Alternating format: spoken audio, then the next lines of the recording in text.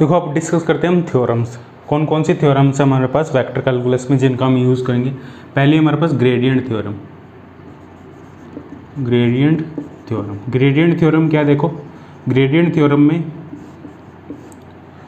तो gradient theorem क्या है? हमारे पास कोई, हमारे पास एक स्केलर क्वांटिटी है जिसका ग्रेडियंट है डेल फाइव ठीक है?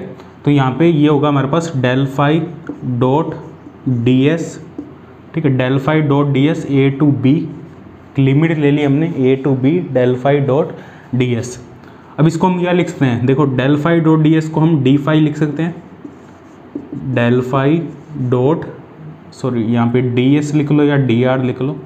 डी आर लिख लो क्योंकि ये लाइन इंटीग्रल है हमारे पास। ये एक लाइन इंटीग्रल है।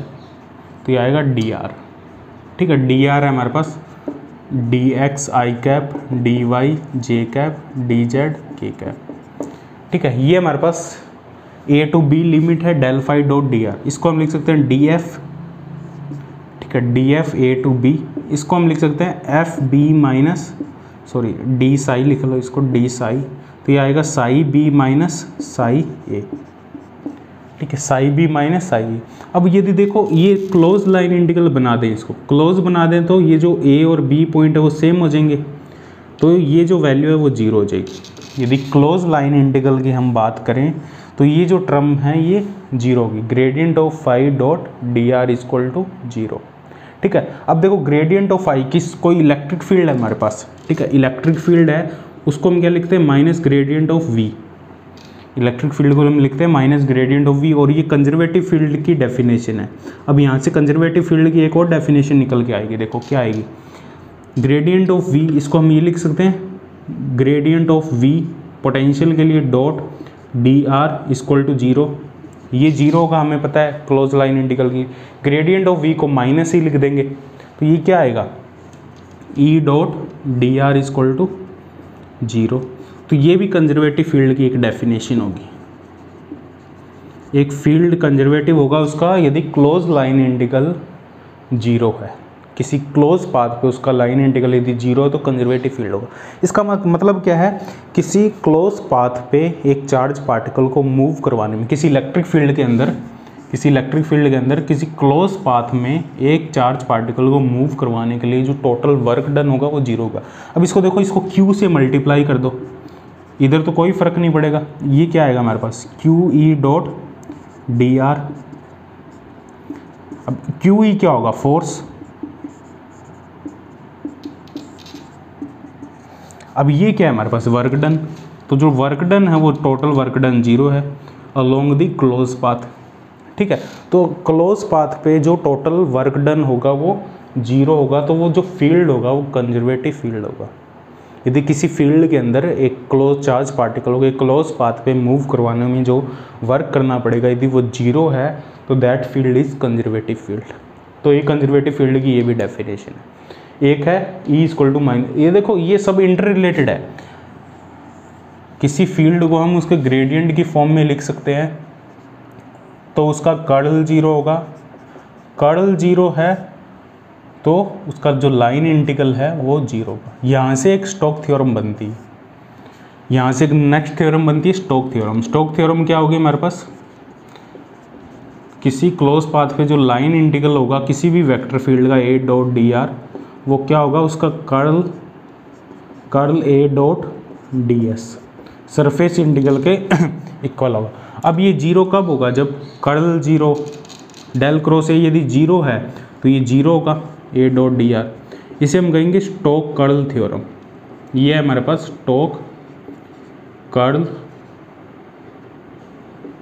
थ्योरम ये है लाइन इंटीग्रल को सरफेस इंटीग्रल से जोड़ती है. और ये कैसा सरफेस है? क्लोज सरफेस जो लाइन इंटीग्रल एक लाइन इंटीग्रल है, इसमें जो क्लोज सरफेस है, ये डिस्क है. इस सरफेस की हम बात कर रहे हैं. ठीक है? तो del cross A dot D S equal to zero होगा तो A dot D R zero का मतलब ये कंजर्वेटिव फ़ील्ड है। तो ये हमारे पास एक कंजर्वेटिव फ़ील्ड होगा और कंजर्वेटिव फ़ील्ड की डेफिनेशन क्या है? A dot D R equal to zero मतलब del cross A equal to zero ये हमारे पास एक कंजर्वेटिव फ़ील्ड होगा। तो एक तो ग्रेडियंट थ्योरम होगी हमारे पास, एक स्टोक थ्योरम होगी Stoke curl theorem A dot D R equal to del cross A dot D S next theorem है हमारे हमारे पास गोस डाइवर्जेंस थ्योरम ये गोस डाइवर्जेंस थ्योरम क्या है?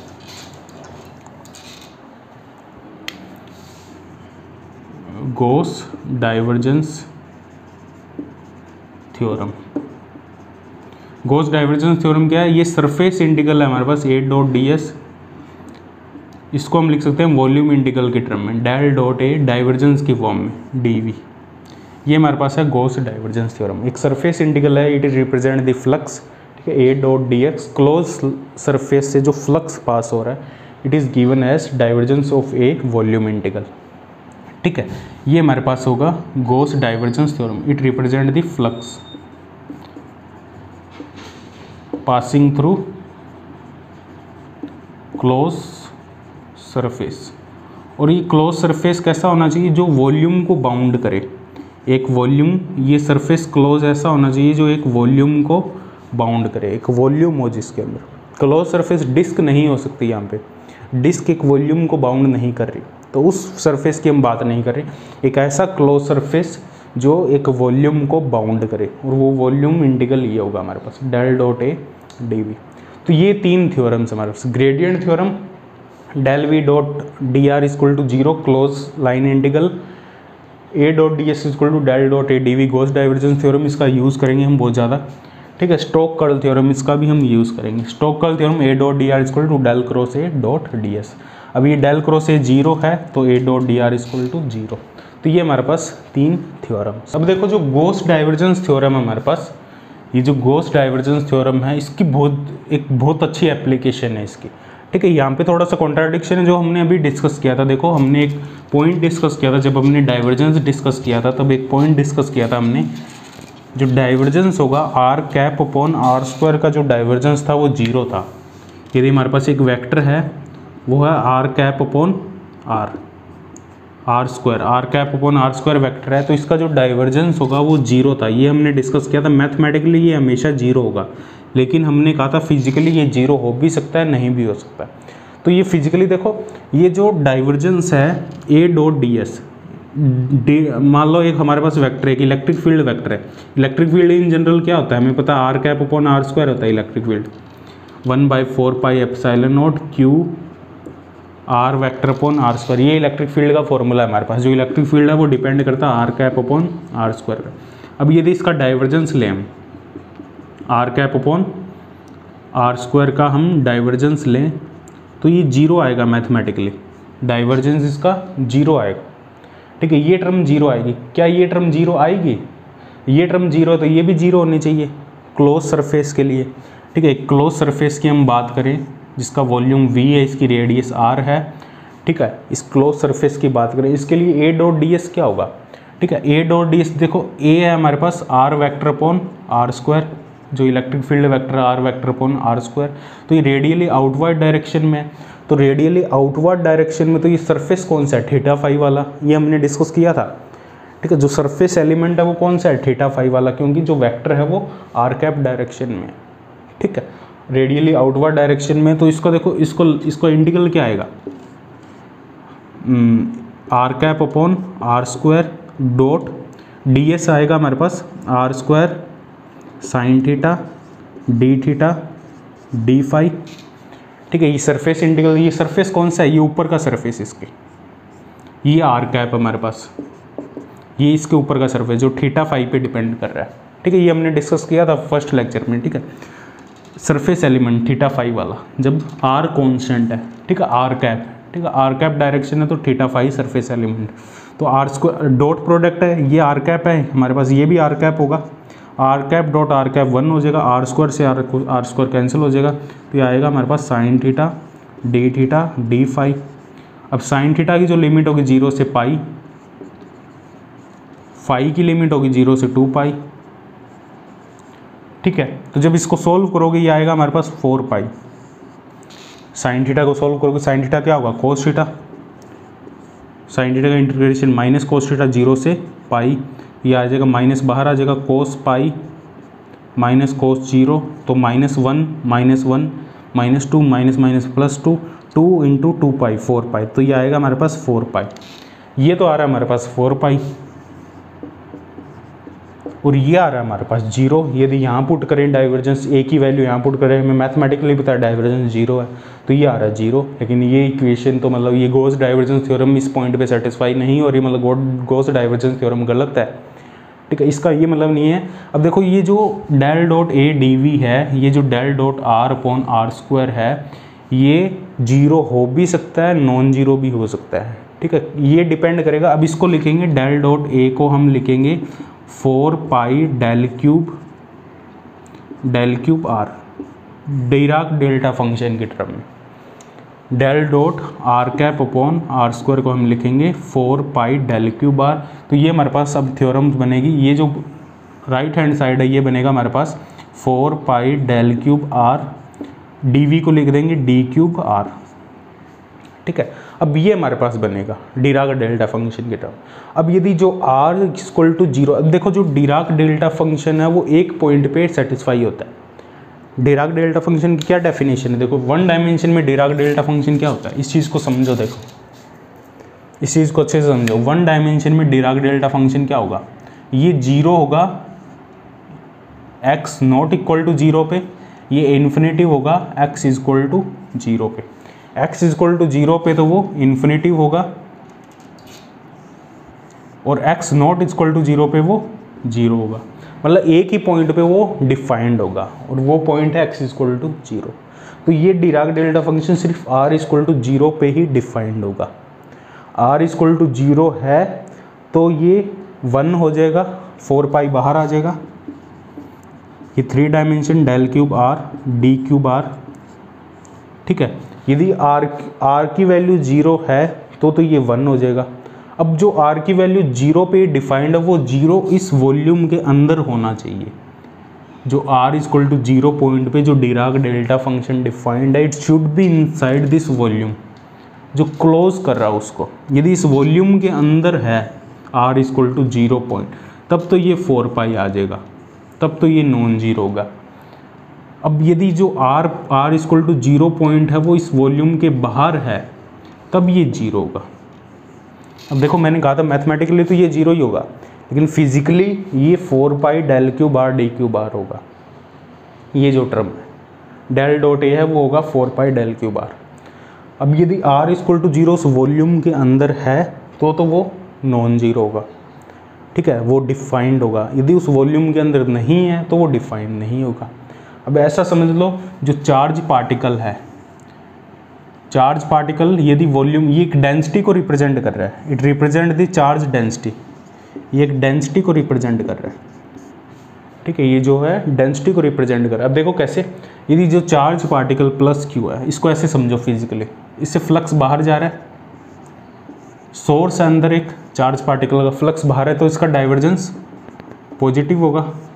इलेक्ट्रिक फ़ील्ड का डाइवर्जेंस लिख लो या इसको डेल डॉट ए लिख लो इलेक्ट्रिक फ़ील्ड का डाइवर्जेंस पॉजिटिव होगा यदि फ्लक्स बाहर जा रहा है। ठीक है, इस सरफेस से जो डाइवर्जेंस लेंगे वो पॉजिटिव होगा ज़ीरो नहीं होगा। अब इलेक्ट्रिक फ़ील्ड का डाइवर्जेंस यहाँ ज़ीरो नहीं है।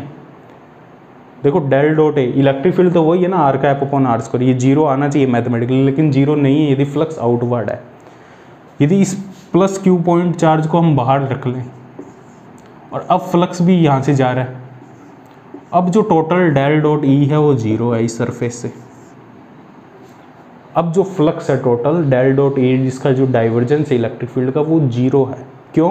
क्योंकि अब जो प्लस क्यू चार्ज है, जिस पे ये डिफाइंड है, जिस पे ये डाइवर्जेंस डिफाइंड है, ये जो ये जो del dot A D V जिस पे डिफाइंड है, वो पॉइंट ही बाहर है। जो डेंसिटी है, वो ही बाहर है। ठीक है तो ये ज़ीरो हो जाएगा। यदि ये इसके अंदर है तो ये नॉन ज़ीरो होगा और कितना होगा? फोर पाई ठीक है तो इस बात को याद रखना है तुम्हें। मैथमेटिकली तो ज़ीरो होगा फिजिकली देखो, ये जो डिराग डेल्टा फ़ंक्शन है इट इज़ फ़िज़िकल प्रॉपर्टी ठीक है, ये फिजिकली डिफाइंड ये एक फिजिकली डिफाइंड एक फ़ंक्शन है। अब ये डिराग डेल्टा फ़ंक्शन डिफाइंड हुआ कैसे? ठीक है, ये इन, ऐसे ही कुछ केस मिले, जिनकी वजह से एक ऐसा फ़ंक्शन डिफाइंड करना पड़ा। देखो, जो मैथमेटिक्स है, वो तो एक एक आइडियल केस है, लेकिन फिजिकली देर आर समथिंग मतलब कुछ है फिजिकली जिस चीज़ को डिफाइन करने के लिए डिराग डेल्टा फ़ंक्शन को डिफाइंड करना पड़ा। कुछ पॉइंट पे मैथ फेल हो जाती है, ठीक है? फिजिक्स के कुछ ऐसे लॉज है जहाँ पे मैथ फेल हो जाती है तो उसके लिए फिर मैथमेटिकल अलग फॉर्मूला कुछ हमें डिफाइन करने पड़े, जो एक जिनमें से एक डिराक डेल्टा फ़ंक्शन है, ठीक है? तो डिराग डेल्टा इस थ्योरम को सेटिस्फाई डिराग डेल्टा फ़ंक्शन ही करेगा। क्योंकि फिजिकली हमें पता है ज़ीरो हो भी सकता है फ्लक्स देखो फ्लक्स है, वो ज़ीरो भी हो सकता है नॉन ज़ीरो भी हो सकता है। यदि चार्ज पार्टिकल बाहर है तो ज़ीरो होगा चार्ज पार्टिकल अंदर है तो नॉन ज़ीरो होगा। ये फ्लक्स ही तो एक्चुअल में ए डॉट डी एस ये ज़ीरो कब होगा? जब चार्ज पार्टिकल बाहर है, ये नॉन ज़ीरो कब होगा? जब चार्ज पार्टिकल अंदर है। जब चार्ज पार्टिकल अंदर है तो फ्लक्स होगा फोर पाई जब चार्ज पार्टिकल बाहर है तो फ्लक्स होगा ज़ीरो तो ये डिराग डेल्टा फ़ंक्शन इस चीज़ को एक्सप्लेन करता है। इसलिए डिराग डेल्टा फ़ंक्शन को डिफाइंड किया गया, ठीक है? तो ये हमारे पास this is all about Dirac delta function अब कुछ डिराग डेल्टा फ़ंक्शन की प्रॉपर्टीज़ है, उसको मैं लिख देता हूँ, उनको तुम्हें याद रखना है। उनका यूज़ होता है बहुत ज़्यादा डिराग डेल्टा फ़ंक्शन की जो प्रॉपर्टीज़ है। तो ये क्लियर हो गया होगा तुम्हें, ठीक है? मैथमेटिकली ये ज़ीरो है, लेकिन फिजिकली ये ज़ीरो हो भी सकता है नॉन ज़ीरो भी यदि चार्ज पार्टिकल जो चार्ज डेंसिटी है चार्ज डेंसिटी की हम बात कर रहे हैं, यहाँ पे कुछ और भी हो सकता है, कोई भी डेंसिटी हो सकती है मास डेंसिटी हो सकती है, जो ग्रेविटेशनल फ़ील्ड के लिए डिफाइंड है। यदि मास अंदर है तो जो ग्रेविटेशनल फ्लक्स है, वो पॉजिटिव होगा। क्योंकि ग्रेविटेशनल फोर्स है, वो भी इसी टाइप का फोर्स है आर अपॉन आर स्क्वायर तो जो ग्रेविटेशनल फ़ील्ड है हमारे पास, जो ग्रेविटेशनल फ्लक्स है, वो ज़ीरो होगा। यदि जो मास डेंसिटी है, वो बाहर है, उस सरफेस से। हम अर्थ के ऊपर हैं, और अर्थ और सन के बीच में एक एक सरफेस रख दें। ठीक है, जैसे हम इस तरीके से हम कह सकते हैं। जैसे हम अर्थ के ऊपर हैं, ये अर्थ है, ये मास है इसका एम और यहाँ पे हम एक सरफेस रख दें क्लोज सरफेस और इससे हमें फ्लक्स पूछा जाए del G del dot G G है ग्रेविटेशनल फ़ील्ड के लिए। तो इससे जो फ्लक्स पास होगा, वो टोटल ज़ीरो होगा। डेल डॉट जी ज़ीरो होगा यहाँ पे। लेकिन जी तो वही है ना R cap upon R square तो ये तो ज़ीरो है, लेकिन यदि इसी मास को इसके अंदर रख दें हम अब फ्लक्स पूछा जाए तो ये नॉन ज़ीरो होगा। और कैसे डिफाइंड होगा? Four pi del cube R से। अब डेल क्यूब आर की वैल्यू वन होगी, क्यों? क्लोज सरफेस है तो डेल क्यूब आर की वैल्यू वन होगी, क्योंकि जो पॉइंट है, जिस पॉइंट पे वो चार्ज पार्टिकल या मास पार्टिकल है, वो पॉइंट इस वॉल्यूम के अंदर है, और उस पॉइंट पे जो डेल फ़ंक्शन है डेल्टा फ़ंक्शन है डेल क्यूब आर जो डेल्टा फ़ंक्शन है, वो उसी पॉइंट पे डिफाइन है, जिस पॉइंट पे सोर्स है। एक्चुअल में ये डेल्टा फ़ंक्शन एक सोर्स को रिप्रेजेंट कर रहा है। जहाँ पे डेंसिटी, देखो, एक चार्ज पार्टिकल है हमारे पास, ये चार्ज पार्टिकल है। ठीक है, इसकी जो डेंसिटी है, ये चार्ज पार्टिकल है जैसे जैसे हम इसके पास जा रहे हैं, इसकी डेंसिटी इंक्रीज करती जा रही है। एक पॉइंट ऐसा आएगा, इसकी डेंसिटी मैक्सिमम हो जाएगी, फिर डेंसिटी डिक्रीज हो जाएगी। ठीक है तो उस पॉइंट पे डेंसिटी मैक्सिमम तो डेल्टा फ़ंक्शन है जो वो एक सोर्स को रिप्रेजेंट कर रहा है हाई डेंसिटी सोर्स को रिप्रेजेंट कर रहा है। और यदि वो सोर्स पॉइंट उस वॉल्यूम के अंदर है तो तो वो नॉन ज़ीरो है। यदि वो सोर्स पॉइंट उस वॉल्यूम के बाहर है, तब वो ज़ीरो है। बहुत इंपॉर्टेंट है ये। बहुत ज़्यादा इंपॉर्टेंट है। मैं कह रहा हूँ, इसको अच्छे अच्छे से समझ लो। डेल्टा फ़ंक्शन वो एक सोर्स को रिप्रेजेंट कर, if source point lies in this limit इस लिमिट के अंदर लाई कर रहा है सोर्स पॉइंट तो तो ये नॉन ज़ीरो होगा। If source point is outside this limit delta function की यही तो प्रॉपर्टी है। यदि वो लिमिट के आउटसाइड उसकी लिमिट से बाहर जा रहा है वो देख, जैसे देखो हमारे पास ये है, हमारे पास एक मैथमेटिकल फ़ंक्शन है। डेल्टा डिफाइंड है एक्स माइनस टू और लिमिट है हमारे पास थ्री से फोर लिमिट है थ्री से फोर डेल्टा है X minus two D X तो ये नो ज़ीरो ही होगा ये, क्योंकि डेल्टा जो डिफाइंड है वो एक्स इक्वल टू टू पे डिफाइंड है और लिमिट है एक्स थ्री से फोर तो ये ज़ीरो होगा। यदि ये लिमिट टू से फोर हो जाती, या वन से फोर हो जाती तो ये नॉन ज़ीरो होता। तो ये नॉन ज़ीरो होता हमारे पास। ठीक है ज़ीरो क्यों है? क्योंकि लिमिट में नहीं है वो। तो सोर्स ही वहाँ नहीं है तो डेल्टा फ़ंक्शन डिफाइंड नहीं होगा। यदि सोर्स उस लिमिट के अंदर है, तभी डेल्टा फ़ंक्शन डिफाइंड होगा। ये थ्री डायमेंशन में भी वैलिड है, और वन डायमेंशन में भी, और टू डायमेंशन में भी। ठीक है, सभी में ये वैलिड है। अब डिराग डेल्टा फ़ंक्शन की कुछ प्रॉपर्टीज़ है, जिनको हम लिख लेते हैं, ठीक है? उन सभी प्रॉपर्टीज़ को तुम्हें याद रखना है, ठीक है? तो ये देखो कुछ प्रॉपर्टीज़ है डिराग डेल्टा फ़ंक्शन की। ये डेफिनेशन है डिराग डेल्टा फ़ंक्शन की। माइनस इन्फिनेटिव से infinitive, delta X equal to D X equal to one. अब देखो, x इक्वल टू ये ज़ीरो पे डिफाइंड है तो x इक्वल टू ज़ीरो इस लिमिट के अंदर आ रहा है तो ये वन होगा। ठीक है? Integration of minus infinity infinity delta X D X equal to one. अब कोई फ़ंक्शन हो इसके साथ एफ़ एक्स ठीक है? तो यदि डेल्टा फ़ंक्शन उस लिमिट पे डिफाइंड हो तो वो जो फ़ंक्शन है, उस फ़ंक्शन, उस जिस पॉइंट पे डेल्टा फ़ंक्शन डिफाइंड है, फ़ंक्शन की, उस पॉइंट पे फ़ंक्शन की वैल्यू क्या है, वो इस इंटीग्रेशन की वैल्यू होगी।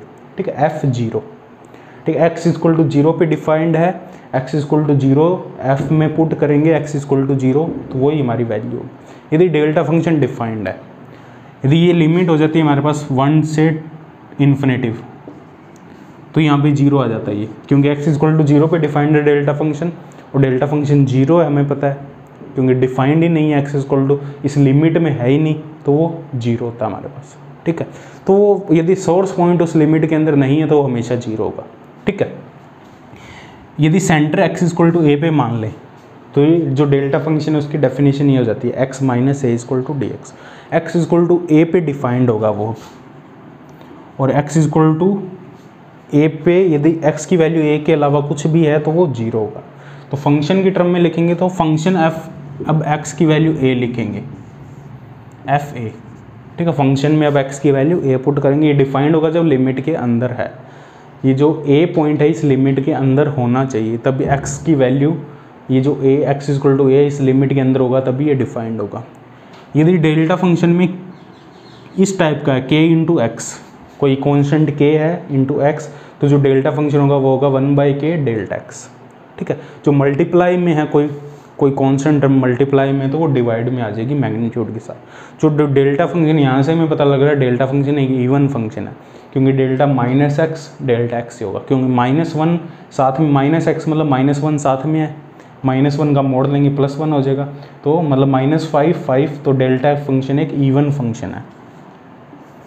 ये एक ईवन फ़ंक्शन है, ठीक है? इसका जो डिफ्रेंशिएशन होगा डेल्टा फ़ंक्शन का, वो होगा minus one by X delta X ठीक है? डेल्टा फ़ंक्शन का जो फ़र्स्ट डेरिवेटिव होगा minus one by X delta second derivative तुम यहाँ से कैलकुलेट कर सकते हो, ठीक है? एनथ डेरिवेटिव का फॉर्मूला तुम देख सकते हो, ठीक है? एच के दास बुक में मिल जाएगा तुम्हें। डी बाई डी एक्स, ये हमारे पास, जैसे यदि कहीं यूज़ होगा तो हम उसको डिस्कस कर लेंगे। वैसे तुम देख लेना एन डेरिवेटिव का क्या फॉर्मूला होगा डेल्टा फ़ंक्शन के। Minus one by X D del by del X ठीक है?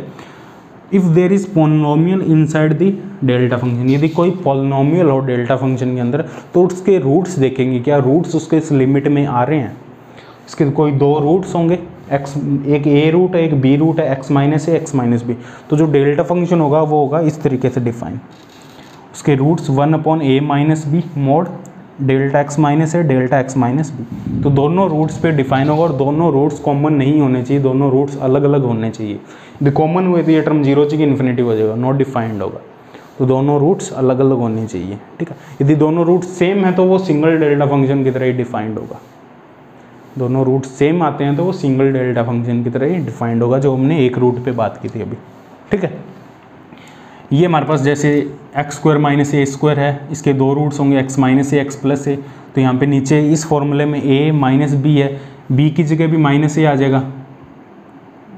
जो ए है माइनस ए एक रूट होगा प्लस ए तो minus a minus a a minus a two minus a minus a two a minus two a minus mod है तो यहाँ पे सिर्फ़ टू ए रह जाएगा हमारे पास। Two a delta x minus a delta x plus a ठीक है, ये इसी तरीके से आया हमारे पास, क्योंकि दो रूट्स है दोनों रूट्स पे अलग अलग डिफाइंड है, ठीक है? तो एनथ डेरिवेटिव क्या होगा? डेल्टा फ़ंक्शन में जो यदि कोई डेल्टा फ़ंक्शन का एनथ डेरिवेटिव दिया गया है हमें ठीक है?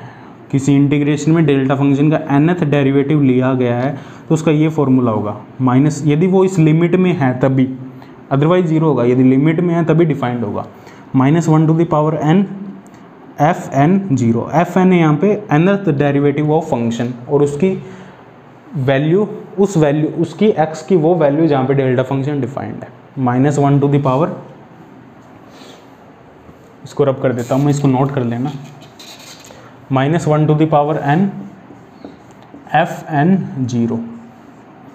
Zero पे डिफाइंड है, यदि यहाँ पे डेल्टा एक्स माइनस ए होता तो यह आता एफ़ एन ए ठीक है, minus one to the power n देखो, यहाँ पे एक एग्ज़ाम्पल लिया है एक्स स्क्वायर फ़र्स्ट डेरिवेटिव है। प्राइम लिखा है तो फ़र्स्ट डेरिवेटिव है।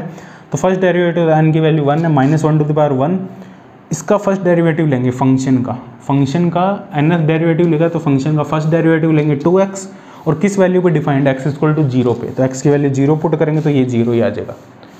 ये ज़ीरो आ रहा है क्योंकि फ़ंक्शन की वैल्यू ज़ीरो है। जिस पॉइंट पे डेल्टा फ़ंक्शन डिफाइंड है, उस पॉइंट पे फ़ंक्शन की वैल्यू ही ज़ीरो है। ना कि डेल्टा फ़ंक्शन डेल्टा फ़ंक्शन तो डिफाइंड है यहाँ पे, लेकिन उस पॉइंट पे फ़ंक्शन की वैल्यू ही ज़ीरो है, इसलिए ज़ीरो आ रहा है, ठीक है? ये थ्री डायमेंशन में डेल्टा फ़ंक्शन होगा, ठीक है? ये जब हम मैथमेटिकल फिजिक्स डिस्कस करेंगे, जब हम मैथमेटिकल फिजिक्स पार्ट डिस्कस करेंगे, तब हम डेल्टा फ़ंक्शन के बहुत सारे क्वेश्चन करेंगे कंप्लीट डेल्टा फ़ंक्शन डिस्कस करेंगे हम one dimension two dimension three dimension उसके बहुत सारे क्वेश्चन करेंगे, उसकी एप्लीकेशन करेंगे। ठीक है यहाँ बस जस्ट तुम्हें थोड़े से बहुत फॉर्मूले याद होने चाहिए ताकि इनका तुम यूज़ कर सको। गोस डाइवर्जेंस थ्योरम में डेल्टा फ़ंक्शन कैसे यूज़ होता है? अब इसका फ़िज़िकल सिग्निफिकेंस क्या है? ये एक सोर्स को रिप्रेजेंट करता है, जहाँ पे इसकी वैल्यू मैक्सिमम होती है, बाकी सब भी जगह ज़ीरो तो एक पॉइंट सोर्स को रिप्रेजेंट करता है। ये हमारे पास डेल्टा फ़ंक्शन की कुछ प्रॉपर्टीज़ है। ठीक? अब एक दो सिंपल सिंपल क्वेश्चन कर लेते हैं हम। ठीक है, एक डेल्टा फ़ंक्शन पे कर लेते हैं एक दो। एक दो क्वेश्चन कर लेते हैं जो हमने तीनों कार्टिशियन कोऑर्डिनेट सिस्टम पढ़े, उन पे। ठीक है? One to the power one nine x square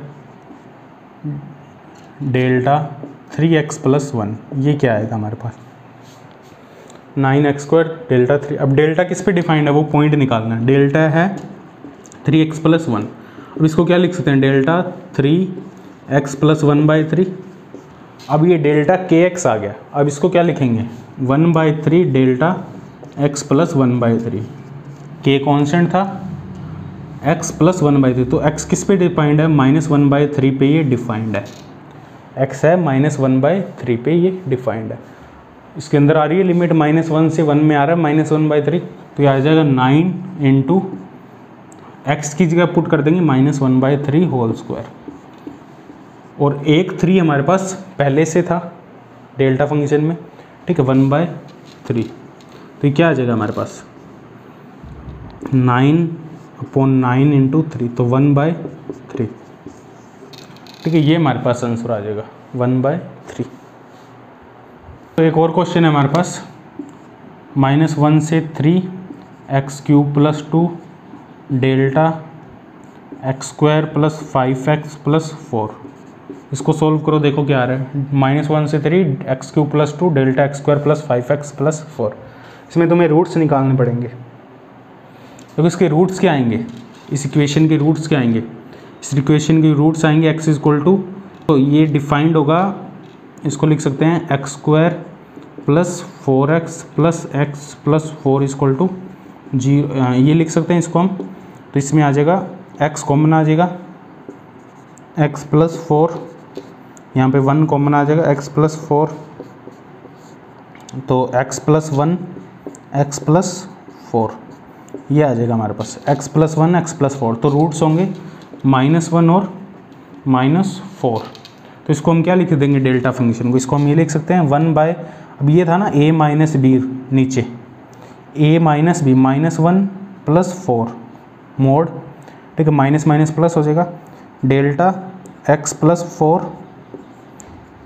plus delta x minus x plus one ठीक है तो ये आ जाएगा one by three delta x plus four, delta x plus one. इसकी वैल्यू यहाँ पुट कर देंगे इसमें। तो ये आएगा minus one to the power three, minus one से three, x x cube plus two, नीचे आ जाएगा one by three, delta x plus four, delta x plus one. अब किस पे डिफाइंड है? देखो, फोर पे तो डिफाइंड है नहीं, x x equal to minus four तो डिफाइंड है नहीं तो ये टर्म तो ज़ीरो ही हो जाएगी। कौन सी बचेगी? एक्स प्लस वन वाली। एक्स की वैल्यू आएगी माइनस वन एक्स की वैल्यू माइनस वन पुट करेंगे। एक्स की वैल्यू माइनस वन यहाँ पुट करेंगे फ़ंक्शन अब ये फ़ंक्शन है हमारे पास। माइनस वन की cube plus two upon three तो आएगा वन बाय थ्री तो ये आंसर होगा हमारे पास वन बाय थ्री तो ये देखना पड़ेगा तुम्हें। ठीक है ये पोलिनोमियल का क्वेश्चन है। पोलोमियल है तो इसके रूट्स निकालने पड़ेंगे। रूट्स निकाल के फिर इसको सोल्व करना पड़ेगा। ठीक है, इस पर एक और क्वेश्चन करते हैं हम। वो हम क्वेश्चन करते हैं जो तीनों कोऑर्डिनेट सिस्टम पढ़े थे हमने स्फेरिकल सिलेंड्रिकल उस पर एक क्वेश्चन करते हैं, ठीक है? एलिमेंट सरफेस एलिमेंट कैसे फाइंड करते हैं? ठीक है, उस टाइप का एक क्वेश्चन है, ठीक है? देखो, ये हमारे पास एक ऑब्जेक्ट है सिलेंडर है one by fourth of cylinder इसके कोऑर्डिनेट दिए गए हैं। हमें यहाँ फाइंड करना है ये length B D sorry A B length find करनी है। इसका सरफेस एरिया हमें फाइंड करना है ये जो A B C D surface है ए बी सी डी इसका सरफेस एरिया कितना है? और हमें जो नीचे ओ सी डी है ओ सी डी जो सरफेस है, इसका सरफेस एरिया फाइंड करना है हमें, ठीक है? और ये हमारे पास जो ओ डी ए एफ़ है ओ डी ए एफ़ इसका सरफेस एरिया हमें फाइंड करना है। तो ये चीज़ें फाइंड करो तुम, ठीक है? ये जो फ्रंट सरफेस इसका सरफेस एरिया ये जो बैक सरफेस इसका सरफेस एरिया और ये जो नीचे डिस्क है या ये डिस्क इसका सरफेस एरिया हाफ़ मतलब one by fourth of disc ठीक है, और ये लेंथ फाइंड करनी है। कैसे फाइंड करोगे, देखो। यहाँ पे तुम्हें सिलेंड्रिकल कोऑर्डिनेट सिस्टम यूज़ करना पड़ेगा और लेंथ तुम्हें पता होना चाहिए लेंथ एलिमेंट सरफेस एलिमेंट क्या क्या है। उनकी हेल्प से तुम फाइंड कर सकते पहले लेंथ फाइंड करते हैं A B length A B length A B कैसे फाइंड करेंगे? पहले एक लेंथ एलिमेंट लो, फिर उसको इंटीग्रेट कर दो। ये हमारे पास फाइव एंगल है सिलेंडर में। ये हमारे पास ये लेंथ है, ठीक है? ये हो गई हमारे पास डी एल ठीक है? लेंथ एलिमेंट डी एल ले लिया अब डी एल होगा कि ये रेडियस है हमारे पास रो रो है हमारे पास फाइव ये डिस्टेंस भी फाइव है, ये भी फाइव है तो ये कंटिन्यूसली फाइव ही रहेगा। तो रो इंटू डी फाइव तो जो लेंथ एलिमेंट होगा d l rho into d rho into d phi rho phi होगा लेंथ एलिमेंट यहाँ पे, क्योंकि फाइव में वेरिएशन है। जेड कॉन्सेंट है रो कॉन्सेंट है। लेंथ एलिमेंट होगा फाइव डायरेक्शन में रो इंटू डी फाइव ठीक है? इसको इंटीग्रेट करना है। रो की वैल्यू है हमारे पास फाइव ठीक है? रो की वैल्यू है फाइव ये जो लेंथ है रेडियस है फाइव है डी फाइव कहाँ से कहाँ तक है? ज़ीरो से पाई बाई टू एक पाई बाई टू का राउंड लेगा ये पूरा, ये पाई बाई टू होगा, ठीक है? तो ये होगा ज़ीरो से pi by two d phi तो ये क्या आएगा? फाइव पाई बाय टू तो ये लेंथ आएगी हमारे पास फाइव पाई बाय टू ठीक है? अब देखो A B C D surface area क्या होगा? ये जो फ्रंट सरफेस है, ये जो सरफेस है, इसका सरफेस एरिया क्या होगा? अब ये देखो, इस सरफेस पे जो रो है, वो कॉन्सेंट है। सरफेस एरिया की एक डायरेक्शन होगी। इसकी एक, इसमें से एक स्मॉल एलिमेंट ले लेंगे सरफेस एलिमेंट इसकी जो रो डायरेक्शन होगी सरफेस एलिमेंट की बाहर की तरफ़ होगी। रो डायरेक्शन रो कॉन्सेंट है यहाँ पे। रो कॉन्सेंट है। देखो, तीन कोऑर्डिनेट होते हैं। Rho phi z. Length element यहाँ पे डी एल रो तीन होते हैं, d l phi d l z. D l rho होता है d rho rho cap. D l phi होता है, rho, d phi phi cap. D z होता है, d z z cap. D l z होता है, डी जेड जेड अब rho direction में सरफेस एरिया कौन सा है? जो फाइव और जेड में है। ठीक है? अब ये आएगा हमारे पास rho, d phi d z rho d phi into d z इसको इंटीग्रेट करना है। तो ये कंप्लीट सरफेस एरिया निकल जाएगा हमारे पास। रो है हमारे पास phi phi d z z कहाँ से कहाँ तक है? ज़ीरो से जेड की लिमिट कहाँ से कहाँ तक है? ये देखो, ये डी जेड है। अब ये हमारे पास रो डी फाइव है। रो डी फाइव ये लेंथ एलिमेंट है। ये भी हमने निकाला था, इसके ऊपर का ही है। और ये डी जेड है ऊपर वाला। तो d z into rho d phi rho की वैल्यू फाइव फिक्स है डी फाइव है zero to pi by two d z है ज़ीरो टू टेन टेन है यहाँ पे तो ज़ीरो टू टेन तो ये क्या आएगा? Five into pi by two into ten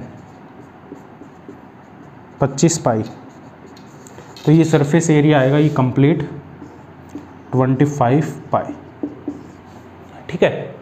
अब देखो surface area O C D O C D ये जो नीचे वाले डिस्क है one by fourth of disc अब यहाँ पे जेड कॉन्स्टेंट है, ठीक है? यहाँ पे रो भी वेरी कर रहा है। देखो यहाँ पे, ये सरफेस एरिया हमें कैलकुलेट करना है।